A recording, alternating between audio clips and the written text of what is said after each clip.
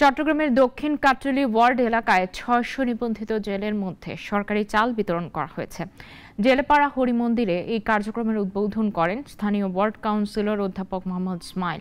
এ সময় মৎস্য বিভাগের কর্মকর্তারা উপস্থিত ছিলেন। বক্তারা বলেন, সরকার সামুদ্রিক মৎস্য উৎপাদন বৃদ্ধির জন্য প্রতি বছর পঁয়ষট্টি দিন মাছ ধরা নিষেধ রাখেন। তখন বেকার জেলেদের কথা চিন্তা করে সরকার চাল বিতরণ করে, ভবিষ্যতে এর পরিমাণ আরও বৃদ্ধি করা হবে। একমাত্র ওয়ালটন এসি দিচ্ছে এক বছরের রিপ্লেসমেন্ট গ্যারান্টি এবং কম্প্রসারের দশ বছরের গ্যারান্টি